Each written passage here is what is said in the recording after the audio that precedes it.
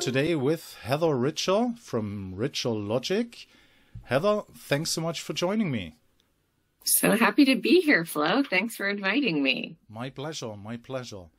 Heather, you know in the industry as someone who knows about revenue management, but before we get into that, I wanted to share with you that I very, very much remember our first conversation because it marked a point in my career.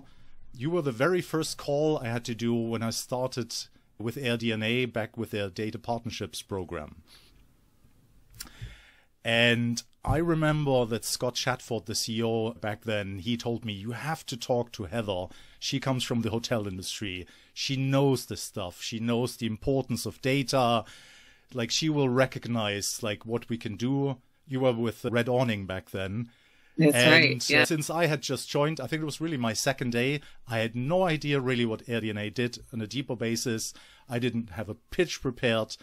And I just remember this awfully awkward sensation when you talk to someone and you were painted like this, like person who like really the the We were all learning. yeah. Um, but anyway, that's my story how I got to know you, and then obviously we bumped into each other several times in the trade shows. And I remember that call being just fine. Ah. You know, didn't notice anything odd about it. So That's that's how time washes Yeah. over things. Anyway, as it's custom in this interview series, we always start dialing back to early days because we want to tell your journey, we want to tell how you got to where you are today. And so the very first question is always what did you want to be when you were a kid or when you were a young person in the States? Oh, yeah, this question. So this goes back to like your aspirational dream. Well, I was always fascinated with like just having more international experience and wanting to travel. And I had this idea that like being in some kind of negotiating political or law type roles, so equated to this like international negotiator, you know, what is that job? That'd be such a cool job. And from there, well, that was kind of the odd vision when I was really young. Did you did you look into that at all? What it would take to study, or what would be a good career path, or was that just your first? That sounds cool, and then never never materialized. Yeah, then any then really I thought like, well, really what I should do is help people. I should find a job where I'm helping people, right? Yeah. So that led me to nursing and social work, and so that was my initial career discoveries, like dabbling and working in different medical jobs or social work jobs, and then I was like, this is not for me. That's tough. like a, That's a tough gig. Yeah. And people in those roles are special in that you have to separate. You can't take all that stress home with you, right? And you're literally saving lives, right? And like medical professions. Yeah. But it kind of led me to my first hotel job because I was like, just like, you know, what what's next? Because this isn't it. And that's when I found a job at Swissôtel. So that was a very international company at the time, downtown Chicago. And then I was like, oh, now this is fun. Like, this is fun work. Now I'm exposed again to like travel, thinking more globally. And um, it was just work that was less stressful and more fun. So, So- what ex- what exactly was that that first job at the at the hotel? I was a sales assistant. Yeah. So working on like contracts and both for like individual contracts with like IBM and, you know, Google, and then also doing things like group business, you know, meetings and events. So it was kind of both sides. But yeah. So that got me exposed to, and actually, I only did that job for like a year and then I moved into revenue management. So I've oh, really was been at revenue management. Yeah. Yeah. So, what what, what triggered the move to to revenue management? Because working in sales, like either it's like completely not your thing, or you you make good money and you realize like, hey, sales, sales can be fun. Was that a vision in sales where you said it's a bit repetitive? I want to do something more more the analytical side, or what triggered that move? Yeah, I was really just drawn to the work of what revenue management was. And there was like new technology at the time. So they, you know, that job became available. It was like a revenue analyst. And to me, that was just more interesting to be like looking at the data, thinking about how you're selling on channels, because that was also like really rapidly growing. Yeah. Like, you know, that was like ExpediaHotels.com acquisition time and things like that, where just the world of distribution was also kind of exploding. Yeah. What, what year are we talking about now? It's probably 2000. Okay. Yeah. Because I mean, as we all do, at least in the US, you remember where you were on 9 11. So I was, Okay. that was, I was there at that job actually when that happened. Yeah. Yeah. Also interesting times for revenue managers. And, Yes. um, sure. And you, you mentioned that you were using technology, revenue management technology back there. And I imagine revenue management technology back then and today must have been quite different. Yeah. And I think, you know, we've seen for the hotels at the time, it was really, they, oh, we should do what the airlines have done, you know, and here the hotels are five to 10 years later building technology for hotels. And so I was really fortunate in that the company I work for was now installing this technology and putting it to use.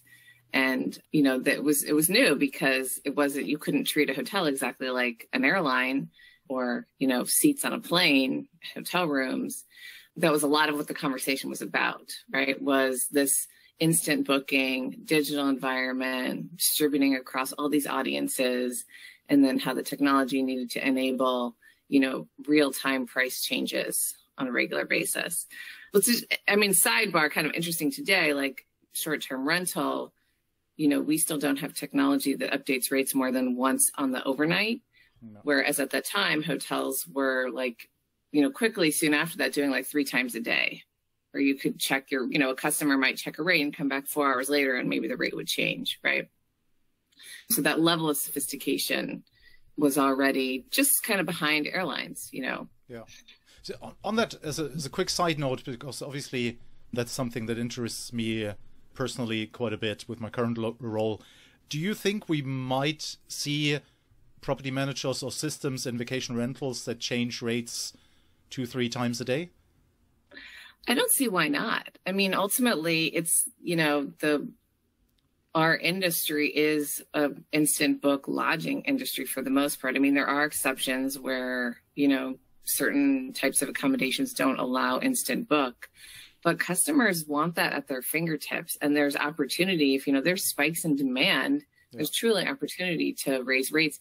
You know, once like an event is announced, right? Like things move so fast. So if systems actually, now that might be more major markets, I was you know, more heavily convention event markets, but that's how fast things move, right? Yeah, I was, I was also just thinking. It's also one of my favorite themes how different our industry is in regards to the supply, and that we sometimes struggle naming it. Some people refer to it as vacation rental, short-term rental. Whereas if I rent an apartment in an urban environment, I don't really see it as a vacation rental. It's much more competing with the city hotels, and like you said, then the environment is very different than if it's a very traditional vacation destination with pretty marked seasonal changes. Whereas possibly in that environment, if it's very much vacation rental, seasonal, not entirely sure if consumers would appreciate daily like changes rates changing three times a day where it's like, hey honey, I saw this amazing house we should go to in summer. Just rate is different and now it's again different where it might trigger insecurity, whereas yeah, in urban markets you might expect that even more. But we are going slightly off topic. But yeah, revenue management is the, is part of the, the conversation today, obviously. So you dove into revenue management, and then how long did you stick with that role? So just a few years, and then I took an opportunity to take kind of a larger director level role at Kimpton Hotels. And then I spent the next almost 15 years with that company because I I jumped over at the time when they were experiencing rapid growth. Yeah. And then the last like three years I was there, IHG acquired Kimpton. So then there was even a, you know, larger kind of ecosystem and change that we went through. So it was a really, I mean, I really grew up and spent a lot of time at Kimpton. It was it was an awesome company to work for. So And like in, the, in, those 15 years, I've, I've, never spent 15 years anywhere. I can't share that experience. Uh, I'm too antsy, if that's a word. What was the evolution that you saw for yourself in these 15 years? And what was the evolution in the company that you saw? Yeah, I mean, we more than doubled in size. And I moved from Chicago to Washington, D.C. to San Francisco. And, you know, when I left, I was vice president of revenue and distribution. So had, you know, really been able to grow my career as the company grew. And then also seeing the transition of being privately owned to being public, part of a publicly traded company was also just a great experience and going through that. I agree with you. I don't think I would have stayed, but because of how much change there was, it was there was never a dull moment, you know. So I didn't get bored, right? And there was this opportunity to like keep going and learning. Yeah. But then you did leave. I did. And that that was your yeah. jump into short-term rentals slash vacation That's right. rentals. Yeah, yeah, in technology more on the technology side too. How, how did you get together with the Red Awning? How did that um, happen? Um, they found me okay. because they were looking for someone based in the San Francisco area. And it was interesting timing because hotels, all the like major hotel brands, like when you looked at the quarterly earnings calls with all these like big hotel brands, when asked that question, like, you know, do you feel threatened by this you know these homes for rent and at the time like alternative accommodations. Mm. um, and it, the answer was like no you know different business not a threat. As it was a threat. And in markets when the supply was growing like crazy it was a disruptor. And people were choosing that type of, type of accommodation over hotels. Hotels are kind of maybe having to pay attention to price points of that. And Expedia was displaying them like one on top of the other. You know, the channels were also experimenting with how to serve this up to guests. And here we are today, right? There's Marriott Hotel, Hotel or Marriott Homes and Villas, right? So like every choice had choice vacation rentals. Like the brands have now worked to figure out onefinestay, right? Accor, what is their flavor of how they, you know, enhance their accommodations brand to include this type of inventory. So come a long way. that, that reminds me of my second or maybe third call where I was just listening in with one of the sales guy back at AirDNA. So this could have been honestly five minutes after our conversation ended, where I listened into a training call, and I remember it was a, an American hotel chain who said we host like close to our one of our locations there's a PGA golf tournament every year. And compared to last year we dropped in I must have been something around 40% in sales compared to last year. And they said we like we've got hotel data, we know it's not the competition.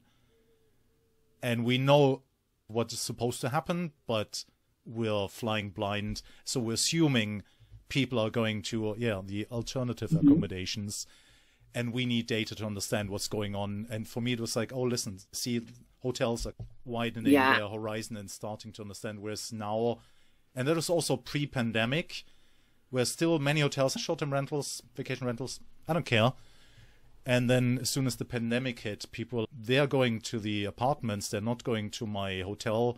They don't want to stand next to someone at the buffet I need to understand this business much, much better. And I agree, now we're very much interlinked. And the cons- the expectation, right, of guests in that why can't I expect a hotel experience at an apartment or a home? You know, what does that mean? What is that journey of like the guest, right, and their stay? And can I expect a, a branded experience and consistency? I think we're we're only going to see more and more of that, but you know, and there's still, I think, the demand for the quirky yurt or odd, you know, car accommodation or something kind of fun and wild that people look for. On the flip side, there is this expectation of professionalism and hospitality and, you know, that type of lodging experience. Then Red Awning had a situation, commission based model on the right track in theory. And then, as many other companies, COVID hit. and it started to become not ideal business model. I remember I worked with you on some projects, and Tim back then had to look at his numbers and realize that it can't continue the way it did. Uh, how was that experience for you from hearing that COVID is a thing to uh, your potential end at Red Awning? I mean, it was with any early stage company where, you know, if you're not profitable and burning cash, or you need to raise again, and then the timing of that versus a global pandemic, you know, how fast do you try to stop the bleeding, right? Because if business just stops overnight, you have no reserves, you're in big trouble, right? And the cycle, anyone can look at the cycle of like when they raise versus how many years later this was the pandemic hit. And it's just the timing was really bad, you know, from that point too. And you think about how are you're going to evolve the business pivot, get through something like that. And we saw, right, other companies kind of ended up shutting their doors. So um, for me, it was clear it was time to go. stay, stay, Alfred was a, yeah. a project that's uh, with Jordan, super smart CEO, and he's got another project now. Looked like one of the winners, growing, growing, growing, and then fairly quickly disappearing from yeah. the scene. Then after you left Red Awning, there must have been Heather sitting at some point at home meditating on life and the opportunities that this change might give you. And that was that marked like a big change in your career because you made yourself self-employed at that point. Yeah, I never thought I'd have my own company before that. You know, I grew up working for just like big brands and then the, you know, kind of this early stage tech company opened my mind to like some other interesting, you know, ways of thinking about how you want to take your career, right? And the the timing was interesting in that the, all that hotel knowledge I had was like desperately needed really in short-term rental. And I was still learning too. And we all still are kind of developing like what is, what does revenue management look like in this industry? Meant much is the same, but much is very different.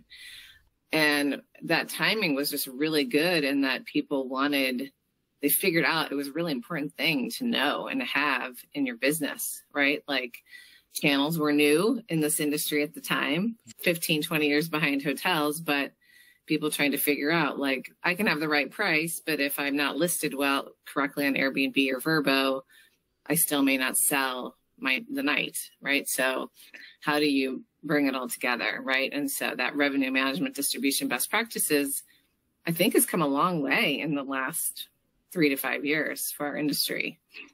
I mean in that sense COVID really poured gasoline on the situation. It accelerated the process. And I, again, I remember this vividly with like when we went to trade fairs and people were like, ah, you know, I've been in the industry for 30 years. I know my market inside out. I don't need this data stuff. Um, and then COVID hit and people were like, oh, understand what's going on. My experience just went out of the window because I have no yeah. idea seasons are are not seasons anymore. Now you can travel, tomorrow you can't. How am I supposed to price my properties? I remember a conversation with a gentleman It's like, I just doubled my rates because people could travel and people were booking, and then I doubled them again and people were still booking. It's like, I, where does this end? I have no idea. I think, yes, in that sense, it was uh, interesting and positive for the industry with all the negative stuff that happened. Just uh, for everything data driven in the sense of revenue management, to catch up with the hotel industry. I think you're right. Yeah. And I think I always have this theory airline, hotels, resorts, casinos, restaurant revenue management. And my partner and I have done revenue management across all of lodging. And at Cornell University, they teach these courses. They do not teach short term rental or short stay revenue management yet. Right. But I think that's where we're headed. Right. It's a discipline of itself just like restaurants, casinos, hotels. And we're in this cool place of establishing like what are all the best practices? What is the definition of the discipline and what it looks like?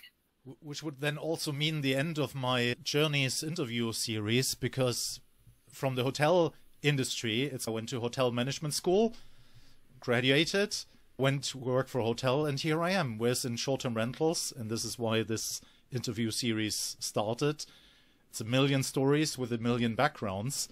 We're, we're growing up with our adolescence of the short term rental industry's journey. That's what fascinated me so much. It's a big step to set up your own shop. Did you feel it was out of necessity, not entirely sure what to do, or did you realize, hey, there is a clear opportunity for my skill set? So I think now it's the time to benefit uh, from my experience, as you mentioned, and and just do my own thing. And how scared were were you when you did this?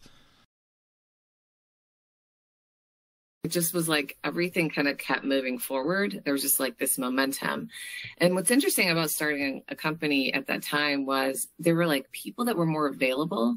So I reconnected. My partner, my business partner today, was also in a place where he had um, changed his career and he was like, we started talking and truthfully the business has been built because we came together too like we have two very different skill sets so just the alignment of there was a need, you know, in the industry. On the flip side, there were people available like to bring together to like empower what it should look like. That was the other reason it just kept going. I mean, when you're you're building something and you're figuring out. There's no roadmap, right? They say, right, it's lonely at the top. You have to kind of like find outside resources to inspire you and give you ideas about what you want to do next. And it's it's been a wild ride two a little over two years now. The business just there's you know it's unlimited opportunity really. It's exciting.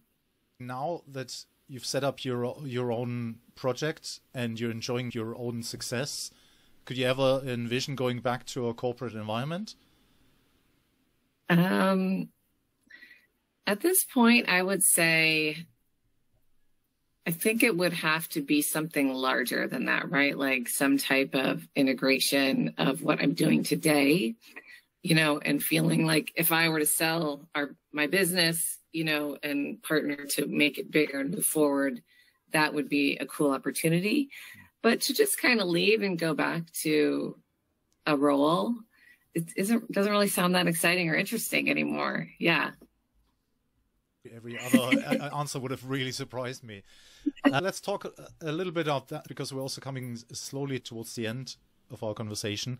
How do you see yourself today, and where do you Richer Logic project moving in the next couple of years? I think I have this interesting vantage point of from the moment I moved into this industry, I kind of said, like, okay, it's not hotels, it's different. But I have to tell you, everything is really similar. It's got a different flavor to it. But I do think because I experienced this hotel journey evolution, it's really all the same shit. Sorry. but it's just like, it. it really is. And so you have some foresight to figure out where the white space is. You can start to see the lanes. Mm. And yeah, it's like a little different, but ultimately the whole industry's got to keep going in this direction. We're working on projects and different things related to revenue management, analytics, you know, business intelligence, where we see there's a need that's only going to get bigger. That's kind of where our head is at with Richer Logic and where we can take the business. And really has been using our past experience to inform where we know this industry does need to go and is headed.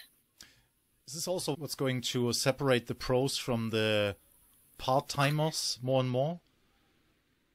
Definitely. I think the hotel space is very fragmented too, right? You still have independents and big brands, and they do survive. There has been more consolidation, you know, even in that space. I think that will continue here. And guest demands, guest expectations will continue to evolve. The professionalism will continue, but maybe the small guys will still have a place. Now, fast forward, Richer Logic is being acquired by one of the big guys who says like, "Hey, we want a consulting business. We like what Heather built there. Uh, you get a golden parachute. What would be a cool project at some point? You can create whatever you want to do." You know, I'd like to teach. I think like in this like long term vision of like you know, after that and yeah, be able to, I don't know what that looks like, right? But some type of education role has always been really interesting to me. It's really funny you say that because I haven't done that many of these interviews just yet, but with other conversations, that seems to be a theme where as soon as money motivation anymore, as soon as money is I can pay my bills, I can live a good life. As humans seem to always strive for purpose, and then at some point it's about giving back. We want to educate, we want to share, we want to help other people be successful because our own success has manifested itself and now it's hey what can i do for others? Which is something i i really started to enjoy that that seems to be the end note of the conversation. Personal success that with the next generation so to say. Heather thank you so much for your time. I really like your story. I really think you're a pioneer in revenue management and helping this industry in this journey. And thanks for sharing your journey Thanks for having me, Flo. Yeah, I always enjoy talking with you and really think it's great that you've launched this and what you're doing to bring these stories to life. So appreciate being a part of it.